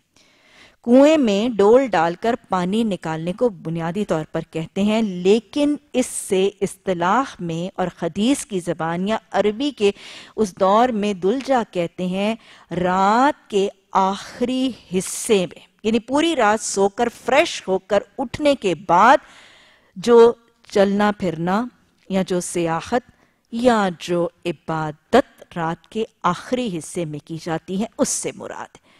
کوئی اللہ سبحانہ تعالیٰ کس دین کی عبادات کے وقت جو ہیں یہاں پہ بتائے جا رہے ہیں کہ دین میں اللہ کو راضی کرنے کے لیے جب عبادات بھی کرو گے تو یہ یہ بنیادی طور پر تین وقت ہیں جب انسان کا جسم ذرا فریش ہوتا ہے اور اس وقت کی سیر سے اور اس وقت کے نکلنے اور چہل قدمی سے انسان کا جسم جو ہے وہ سکون اور راحت پاتا ہے۔ آپ دیکھیں کہ رات کو واک کرنا سونے سے پہلے پہلے انسان کا جسم تھکا ہوتا ہے یہ یہ سیر کے لیے مناسب وقت نہیں ہے۔ یہاں جب کام پیک پر پہنچ جائے تو اس وقت بھی یہ مناسب وقت نہیں ہے، کاموں کا پریشر بہت ہے۔ تو یہ یہ وہ کچھ اوقات ہیں جب چہل قدمی، سیر یا واک وغیرہ کے ساتھ انسان کا جسم زیادہ سرور اور راحت پاتا ہے۔ تو اس حوالے سے عبادات کے لیے بھی یہ وقت بتایا گیا کہ عبادات بھی اس وقت کرو، اتنی کرو، اس وقت کرو، اس انداز میں کرو اور اس حد تک کرو کہ ان میں ایسا اعتدال اور ایسا حسن ہو کہ ان عبادات کے ساتھ بھی تمہارا جسم اور تمہارا بدن وہ سرور بھی پائے اور وہ راحت بھی پائے۔ تو گویا دین میں عبادات میں بھی تشدد اپنے اپنے جسم، اپنے اعصاب، اپنے حواس کے اوپر تشدد اور مشقت کی بجائے عبادات کو بھی ایک سرور، ایک راحت اور ایک کیف کا طریقہ بنانے کی طرف مائل کیا گیا۔ جیسے حدیث میں آتا ہے نا کہ نماز کس وقت نہ پڑھو؟ حدیث کی ترغیب آتی ہے کہ جب تم پر نیند کا غلبہ ہو، اس وقت نماز سے پرہیز کرو۔ جب رفع حاجت کی ضرورت ہو، بھوک لگی ہو، دسترخوان چنا گیا ہو، تو اس وقت کیا کرو؟ پہلے کھانا کھا لو، رفع حاجت سے فارغ ہو جاؤ، نیند کا غلبہ ہو، اس وقت بھی نماز نہ پڑھو۔ تو یہ وہی کیفیت ایک اور انداز میں بتائی گئی کہ نماز اور عبادت کا طریقہ بھی اس وقت اپناؤ جب تم جسمانی طور پر فریش ہو اور وہ عبادت کا مرحلہ اور عمل بھی تمہارے لیے پرقیف اور مسرور کرنے والا عمل ہو جائے۔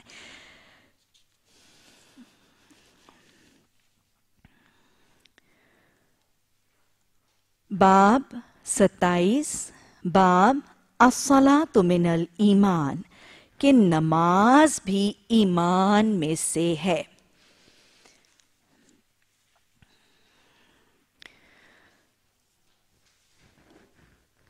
حدیث نمبر تھرٹی ایٹ، حضرت برا بن عازب رضی اللہ تعالیٰ ان سے روایت ہے کہ نبی صلی اللہ علیہ وسلم جب ہجرت کر کے مدینہ تشریف لائے، گویا یہ ہجرت کے بعد کی حدیث ہے جس کو آپ کی ہجرت کے بعد کی کیفیت کے لیے بیان کیا جا رہا ہے، یہ مدنی دور کی حدیث ہے، مکی دور کی نہیں۔ کہ جب آپ ہجرت کر کے تشریف، مدینہ تشریف لائے تو پہلے سب سے کہاں گئے؟ مدینہ کے روسا مدینہ کے حکمران مدینہ کے مالدار طبقے کی طرف نہیں۔ آپ جب مدینہ تشریف لائے تو وہ جو اپنی فطری محبتوں کے رشتے ہیں اور وہ جو رحم کے رشتے ہیں جو باقی تمام رشتوں سے زیادہ اہمیت کے حامل ہیں، آپ صلی اللہ علیہ وسلم جب مدینہ تشریف لائے تو پہلے کہاں اترے؟ نزلہ علی اجدادہی اجداد جد سے ہے۔ جد آباؤ اجداد ہمارے اردو کے بھی الفاظ ہیں۔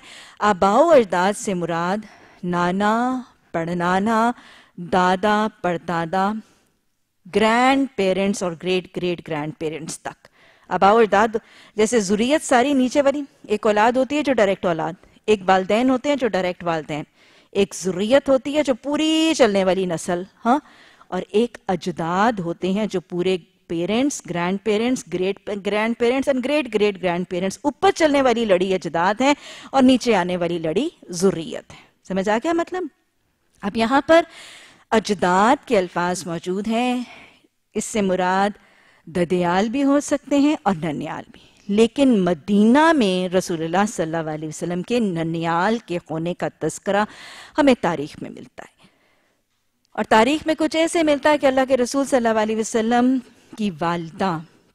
جب آپ صلی اللہ علیہ وسلم اپنی رضاعت کے دور کے بعد واپس حضرت آمنہ کے پاس تشریف لائے، تو ہمیں ذات آمنہ کی وفات سے پہلے وہ جو مرلہ نظر آتا ہے، رسول اللہ صلی اللہ علیہ وسلم کو ان کی والدہ مدینہ میں ننیال کی ملاقات کے لیے لے گئی تھیں۔ مدینہ سے واپسی پر ابوا کے مقام پر حضرت آمنہ شدید بیمار بھی ہوئیں اور وہیں پر وہ رسول اللہ صلی اللہ علیہ وسلم کو یتیم چھوڑ کر ان کے سائے سے آپ صلی اللہ علیہ وسلم محروم بھی ہوئے۔ تو گویا یہاں پہ اجداد سے مراد آپ صلی اللہ علیہ وسلم کے ننیال ہیں۔ یا کس کے اوپر؟ یا انہوں نے کہا اخوال ہی ان کے مامو من الانصاری، انصار میں سے۔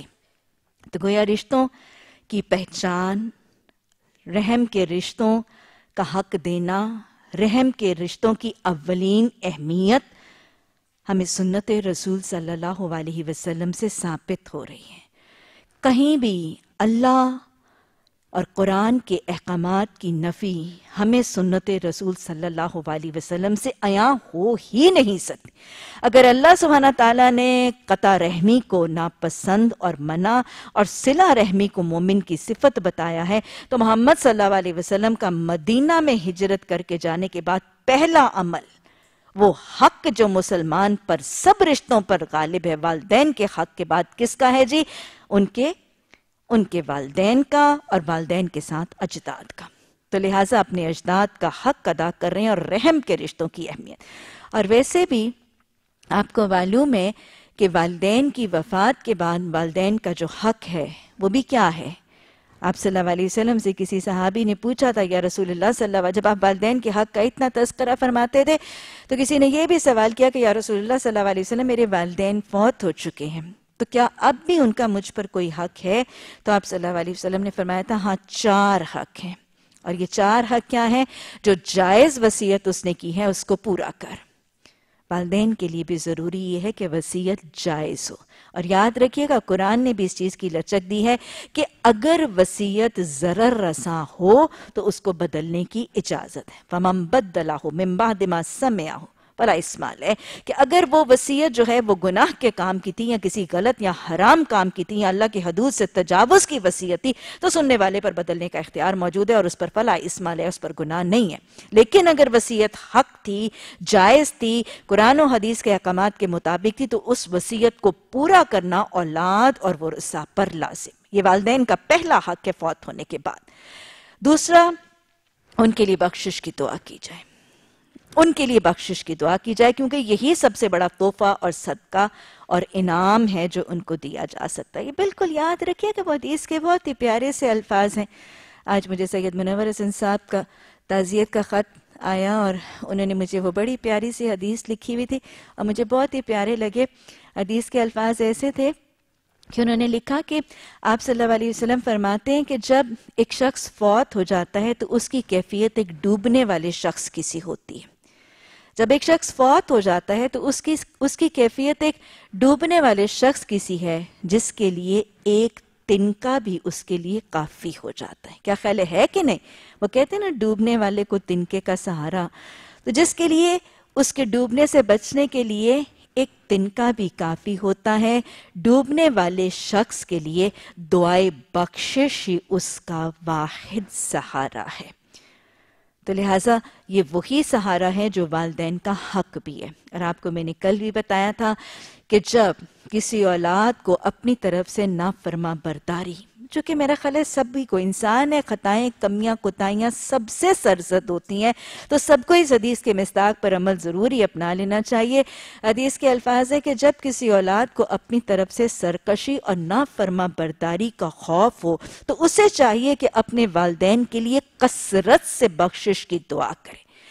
اس بنیاد پر اس نافرما بردار کا، اس نافرما بردار اولاد کا نام فرما برداروں کی صف میں منتقل کر دیا جاتا ہے۔ تو یہ دوسرا حق ہے اولاد پر والدین کا۔ تیسرا حق آپ نے فرمایا، ان کے رشتہ داروں کے ساتھ صلح رحمی کرنا اور چوتھا، ان کے قرابت داروں کے ساتھ حسن سلوک کرنا۔ اور یہاں تک ہمیں رسول اللہ صلی اللہ علیہ وسلم نے تعلیمات دے دی ہیں کہ پھر ماں کے بعد سب سے زیادہ حق کس کا ہے؟ ماں کی بہن کا، خالہ کا حق سب سے زیادہ ہے۔ آپ صلی اللہ علیہ وسلم صرف اپنی والدہ کہ نینیال کے ساتھ نہیں، آپ اپنی بیوی حضرت خدیجہ کی بہن اور ان کی سہیلیوں کے ساتھ بھی حسن سلوک کرتے ہوئے نظر آتے ہیں۔ تو لہٰذا کہیں بھی ایسا نہیں ہے کہ آپ نے تعلیمات امت کو دی ہیں اور اس پر عمل کر کے نہیں دکھایا۔ جتنی تعلیمات دی ہیں، اگر ایک رشتے کا حکم دیا ہے ان کے حق ادا کرنے کا، تو باقی سارے رشتوں کے ساتھ وہ طریقہ اپنا کے نمونہ رقم فرمایا۔ تو آپ نے اپنی ان تعلیمات کے حوالے سے اپنی فوج شدہ والدہ کے جو رشتہ دار یہاں پہ موجود تھے، ننیال اور ان کے خالو جو انصار کے گھرانے میں سے تھے، ان کے ساتھ حسن سلوک، ان کے ساتھ ملاقات اور ان کا حق سب سے پہلے دینے کا طریقہ اختیار کیا۔ اللہ سبحانہ تعالی ہمیں یہ چھوٹی چھوٹی سنتیں جو ایک حدیث میں یاد رکھیے گا، ایک چیز کبھی بھی واضح نہیں ہوتی۔ وہ حدیث ایک کتاب میں، ایک چیپٹر میں رقم کر دی جاتی ہے کیونکہ اس نے ایک خاص چیز واضح کرنی ہوتی ہے۔ لیکن اس پوری کی پوری حدیث کے بیان میں آپ کو ایک نہیں اور بہت سے لیٹرل سبق اور رسول سمجھ آتے چلے جاتے ہیں۔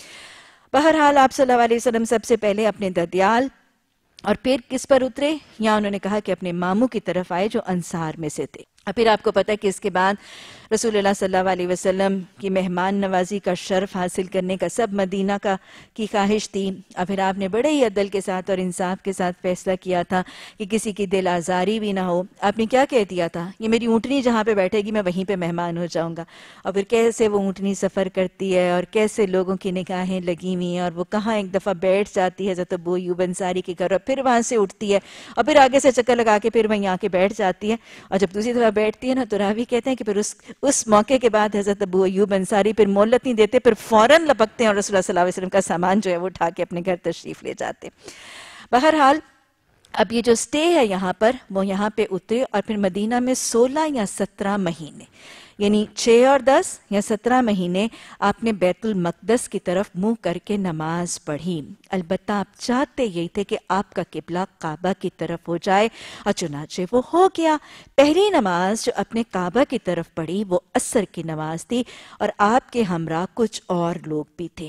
یہ حدیث تصدیق کر رہی ہے تحویل قبلہ کے احکامات پر مبنی آیات کی۔ انشاءاللہ کچھ ہی دنوں میں ہم سورہ بکرہ میں دوسرے سپارے کے آغاز میں سَيَقُولُ الصُّفَحَاءُ مِنَ النَّاسِ مَا وَاللَّهُمْ أَنْ قِبْلَهُمُ الَّتِي كَانُوا عَلَيْهَا۔ قُلِ اللَّهِ الْمَشْرِقُ وَالْمَغْرِبِ۔ یہ تحویل قبلہ کی آیات انشاءاللہ دوسرے سپارے میں ہم پڑھیں گے اور وہاں بھی تفسیر میں وضاحت سے بات ہوگی۔ لیکن یہ حدیث جو ہے وہ وضاحت سے تصدیق بھی کر رہی ہے اور تشریح بھی کر رہی ہے تحویل قبلہ کی آیات کا حکم۔ تحویل قبلہ کی کچھ تھوڑی سی تاریخ اگر دہرا لیں، انشاءاللہ وہاں میں زیادہ وضاحت سے بات کروں گی۔ آپ کو پتا ہے کہ جب مکی دور میں، مکی دور میں رسول اللہ صلی اللہ علیہ وسلم کو جب نبوت سے سرفراز کیا گیا تھا، تو مکہ میں تو سارے کے سارے مشکین تھے۔ اور مشرقین اپنے آپ کو دین ابراہیمی پر کہتے تھے اور دین ابراہیمی کے ہونے کے حوالے سے ان کا قبلہ خانہ پاک، خانہ کعبہ تھا اور وہ قبلہ کی طرف نماز کر کے جو جو ان کی عبادت کا طریقہ تھا وہ قبلہ کے سمت کی طرف، خانہ کعبہ کی طرف ان کا قبلہ تھا۔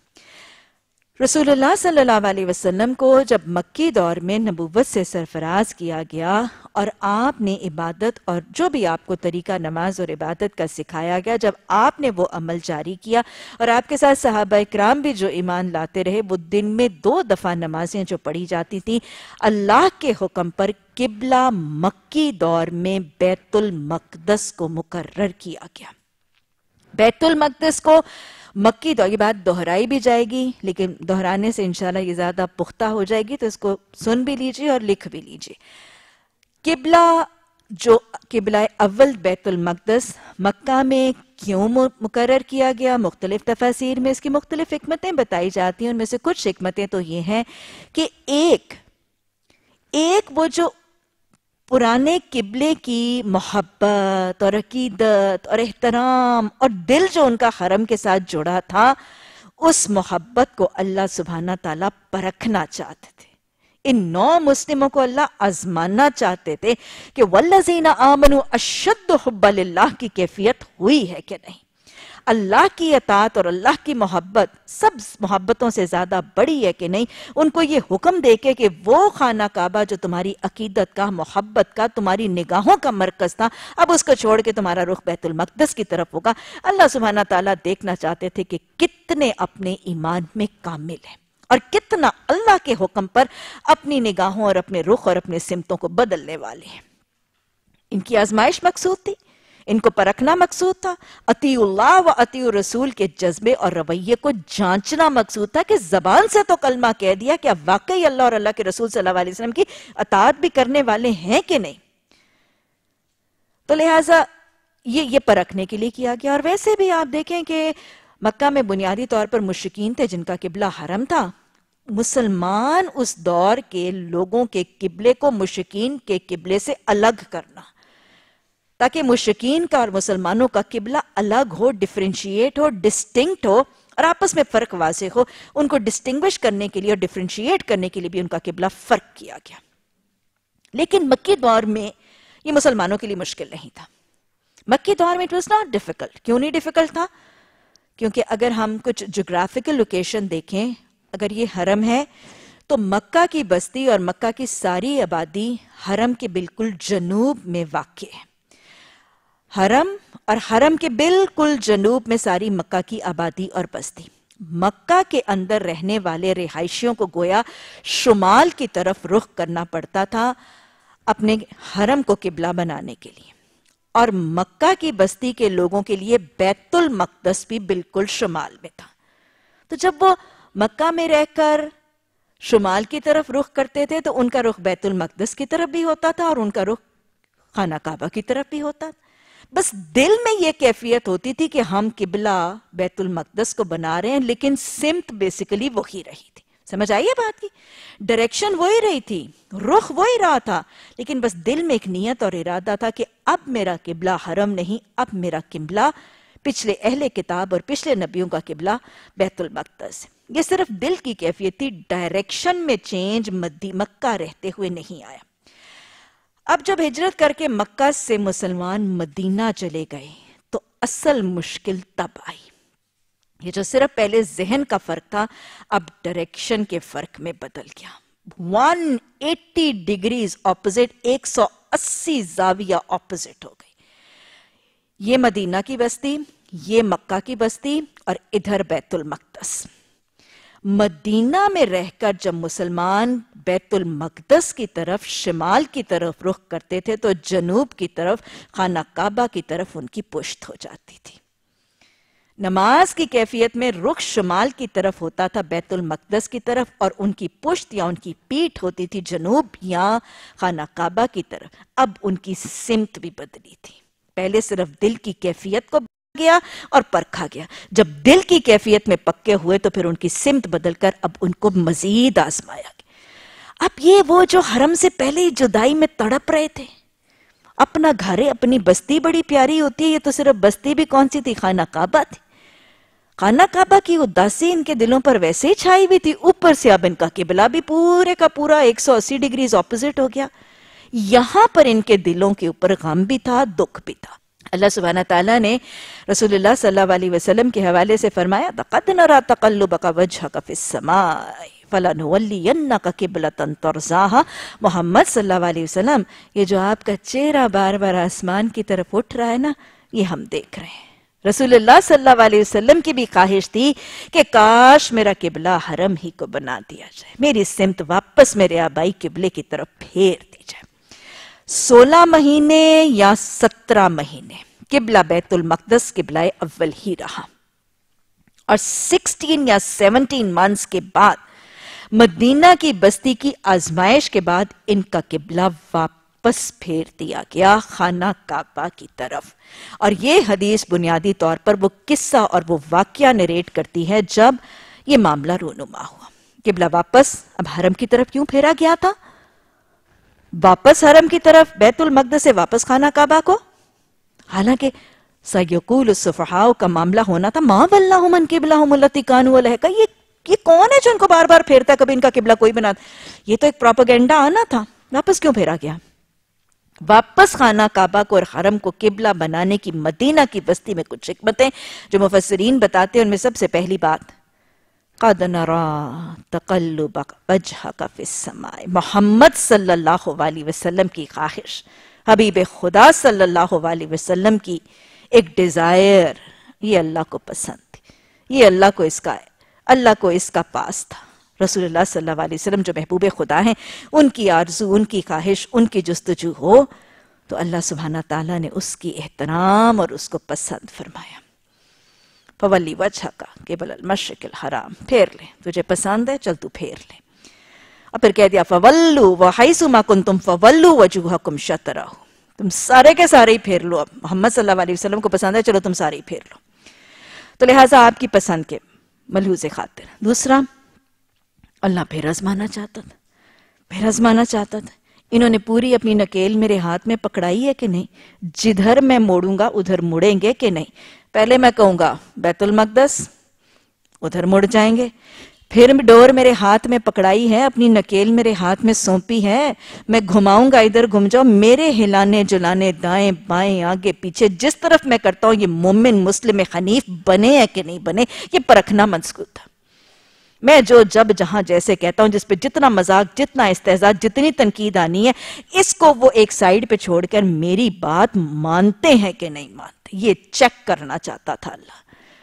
کہ ان کو تو اللہ نے چن لیا تھا نا، اپنے کام کا بنانا تھا۔ اللہ چیک کرنا چاہتا تھا میرے کام کے بنے ہیں کہ نہیں بنے۔ ان کو تو شریعت محمدی صلی اللہ علیہ وسلم کا علم بردار بنانا تھا۔ اللہ ان کو چیک کر رہے ہیں، پرکھ رہے ہیں۔ پھر اب مدینہ میں چونکہ کسرت یہود کی تھی۔ مدینہ میں کسرت یہود اور اہل کتاب کی تھی، جن کا قبلہ بیت المقدس تھا۔ مدینہ میں، مکہ میں ان کو مشکین سے الگ کرنے کے لیے قبلہ الگ کیا گیا۔ اور مدینہ میں اب اہل کتاب سے ڈفرینشیٹ اور ڈسٹنگوش کر کے ممتاز کرنے کے لیے تمہارا قبلہ بیت المقدس، امت رسول صلی اللہ علیہ وسلم کا قبلہ تمہارے والا نہیں ہو سکتا، تمہارا رخ شمال میں ہوگا تو ان کا جنوب میں ہوگا۔ ارے، شریعت محمد صلی اللہ علیہ وسلم کو تو اپنے قبلے میں بھی ان کی مماثلت کی اجازت نہیں دی گئی کیا لباسوں میں مماثلت کی اجازت ہوگی۔ کیا کھانے پینے میں مماثلت کی اجازت ہوگی کہ اپنے رحما اپنے رسومات میں، اپنے تہواروں میں، اپنی شادی بیاہ میں اپنے خوشی غمی کے طریقوں میں اپنے بول چال کے طریقوں میں، اپنے کھانے پینے کے طریقوں میں ان کو کاپی کرنے کا کوئی جواز موجود ہوگا؟ اللہ ہمیں ان کے اتباع سے بچنے کی توفیق عطا فرمائے۔ اللہ ان کے بود و باش، ان کے لباس، ان کے اخلاق، اللہ ان کے رواسم اور ان کے ان کے سارے مراسم کو ترک کرنے کی توفیق عطا فرمائے۔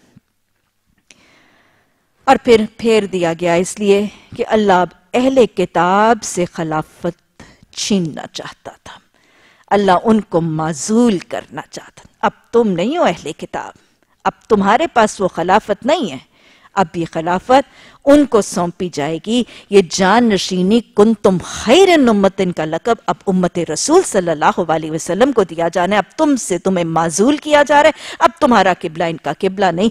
ان کو جان نشینی دی جائے گی۔ ان کو بہترین امت کا لقب دیا جائے گا۔ تمہارا قبلہ سب ان سے فرق ہے۔ ان کی انٹیٹی ان کی انڈیویجوالٹی ان کا تشخص فرق۔ لکم دینکم ولی دین تو یہ کچھ حکمتیں تھی جس کی وجہ سے قبلہ پھیر دیا گیا۔ قبلہ پھیرا گیا۔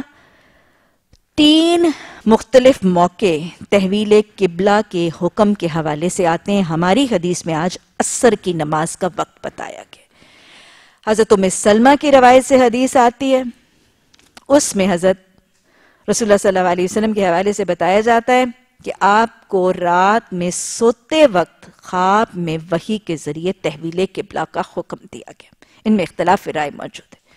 اور آپ صلی اللہ علیہ وسلم نے حضرت ام سلمہ فرماتی ہیں کہ آپ نے فجر کی نماز حرم کی طرف قبلہ بنا کے نماز ادا کی۔ کچھ احادیث اس حوالے سے موجود ہیں۔ کچھ احادیث میں یہ ہے کہ یہ ظہر کی نماز کا وقت تھا اور جو آج ہم حدیث پڑھ رہے ہیں بخاری شریف کی، اس میں تحویل قبلہ کا حکم این اثر کی نماز کے دوران تھا۔ آپ مسجد نبوی میں ہیں۔ آپ مسجد نبوی میں ہیں اور آپ اثر کی با جماعت نماز چار رقطیں ادا فرما رہے ہیں۔ یہاں پہ موجود نہیں ہے، لیکن اور حدیث کے حوالے سے معلوم ہوتا ہے کہ آپ صلی اللہ علیہ وسلم دو رقطیں ادا فرما چکے تھے کہ دو رقطوں کے بعد یہ وہی کی کیفیت ہوئی اور وہی کی کیفیت کے بعد آپ نے اپنی نماز کی حالت میں اپنی سمت کو پھیر لیا۔ نماز کی کیفیت میں امام کا گھوم جانا، تو اس کی ایڑیوں پر گھوم کے ان کا چہرہ بدلنا اور رخ کو چینج کرنا ہے۔ لیکن امام کے اتباع میں صفوں کا گھوم جانا صرف ان کی ایڑیوں پر گھومنا نہیں ہے، کیونکہ امام کو آگے اور صفوں اور مقتدیوں کو پیچھے ہونا لازم ہے۔ آپ صلی اللہ علیہ وسلم کو وہی کے ذریعے حکم آیا، آپ وہیں پر گھومیں۔ اتی اللہ کا زبردست نمونہ آپ نے رقم فرمایا۔ صحابہ اکرام نے انہی صفوں میں بغیر کی لوکال، بغیر تذبذب، بغیر کسی بحث، بغیر کسی ڈیلے، بغیر کسی پوسٹپونمنٹ ٹوٹل نظم و ضبط کے ساتھ زبردست عطی اللہ و عطی الرسول صلی اللہ علیہ وسلم کا نمونہ رقم کر کے وہ صفے گھوم گئی اور پوری کی پوری جماعت مکمل ڈسپلن اور مکمل نظم و ضبط کے ساتھ خواتین بھی ان صفوں پہ موجود تھی ذرا تصور کر لیجیے ذہنوں میں کہ یہ صفیں کیسے گھومی ہوں گی۔ ٹوٹل ڈسپلن ہے اور ٹوٹل اوبیڈینس ہے۔ سمعنا و اتوانا سنیں گے اور اطاعت کریں گے۔ تو سنا بھی نہیں تھا، وہی کی کیفیت دیکھی اور پلٹ گئے۔ تو لہٰذا وہی حدیث ہے۔ اب اس کو اس پس منظر میں پڑھیے۔ آپ صلی اللہ علیہ وسلم نماز پڑھتے رہے، البتہ چاہتے تھے کہ آپ کا قبلہ کعبہ کی طرف ہو جائے۔ یہ جو اللہ سبحانہ تعالیٰ فرماتے ہیں نا، قَدْ نَرَا تَقَلُّبَ وَجْحَكَ فِي السَّمَائِ چنانچہ ہو گیا اور پہلی نماز جو آپ نے کعبہ کی طرف پڑھی، وہ عصر کی نماز تھی اور آپ کے ہمراہ کچھ اور لوگ بھی تھے۔ اب یہاں تک تو سب گھوم گئے۔ آپ نے عطی اللہ کا، صحابہ اکرام، جماعت جن کے سامنے آنکھوں کے وہی نازل ہوئی اور آپ نے نمونہ رقم کیا، انہوں نے تو عطی اللہ عطی رسول صلی اللہ علیہ وسلم کا نمونہ قائم کر لیا۔ میرے اور آپ کے لیے رہتی دنیا تک زبردست اطاعت کا نمونہ۔ لیکن کہنے والے کہتے ہیں، ان کی آنکھوں کے سامنے تو وہی نازل ہوتی تھی۔ وہ تو اپنی آنکھوں سے رسول اللہ صلی اللہ علیہ وسلم کا اتباع دیکھتے تھے، وہ کر گئے، ہم ایسا اتباع نہیں کر پاتے۔ میرے اور آپ کے لیے ایک مزید نمونہ غیب کا بھی موجود۔ اگلا واقعہ دیکھیے۔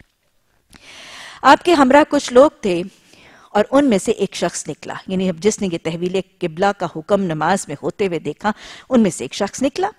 اب یہ اس دین کی، اس دین کی تعلیم کا دائی بن کے نکلا ہے۔ وہ شخص نکلا کسی اور مسجد والوں کے پاس گیا۔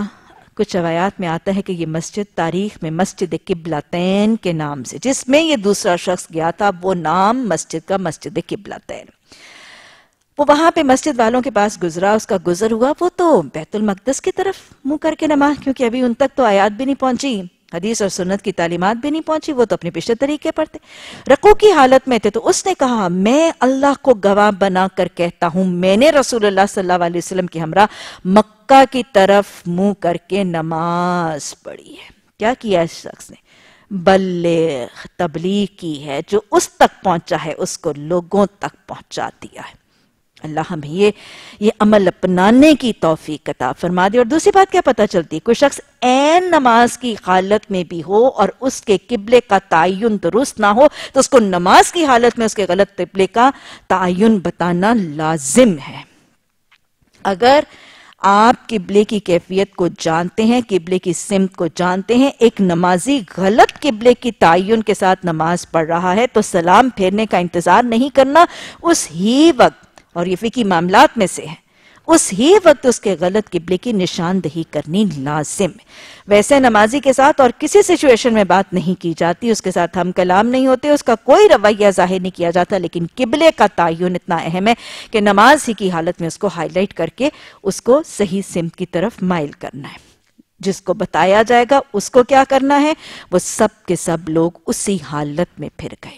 اگر میں آپ ہم کسی انجانی جگہ پر ہیں، اپنے اندازے سے کسی شخص سے پوچھ کے قبلے کی نماز نماز ایک خاص قبلے کے ساتھ ادا کرنے لگے، لیکن وہاں کا رہائشی ہم سے زیادہ علم رکھنے والے کو اگر صحیح قبلے کا معلوم ہے اور اس نے آگے ہمیں بتایا تو ہمیں بھی کیا کرنا ہے؟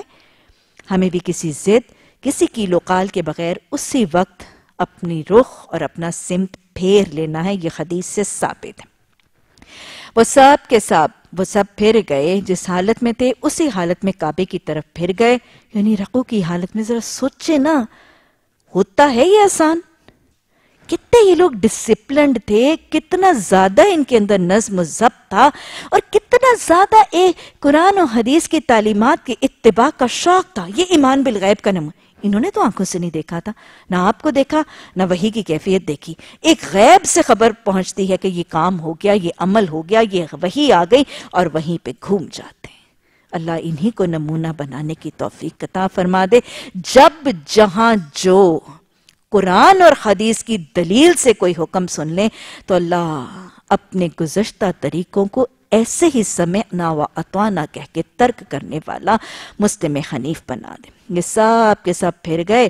اچھا، اور جب آپ بیت المقدس کی طرف منہ کر کے نماز پڑھتے تو یہودی اور دوسرے اہل کتاب نے سارا بہت خوش ہوتے کیونکہ ان کا کیا خیال تھا کہ ہمارا ہی قبلہ ان کا قبلہ ہے، ہمارے دین کی یہ تصدیق کریں وہ خوش ہوتے۔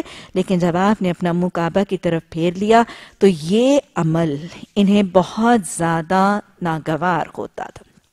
اللہ سبحانہ تعالیٰ نے پھر سورہ بکرہ میں واضح طور پر کہہ بھی دیا نا، وَلَئِنْ آتَيْتَ الَّذِينَ أُوتُوا الْكِتَابَ بِكُلِّ آيَاتٍ مَا تَبَعُوا قِبْلَتَكَ وَمَا أَنْتَ بِتَابِعٍ قِبْلَتَهُمْ وَمَا بَعْضُهُمْ بِتَابِعٍ قِبْلَةَ بَعْضٍ وَلَئِنِ اتَّبِعْتَ أَهْوَاءَهُمْ بَعْدَ مَا جَاءَكَ مِنَ الْعِلْمِ إِنَّكَ إِنَّكَ مِنَ الظَّالِمِينَ۔ کہ دیکھو، اگر ان اہل کتاب کو تو تم ساری نشانیاں بھی دے دو گے نا، یہ تمہارے قبلے کو نہیں مانے گے۔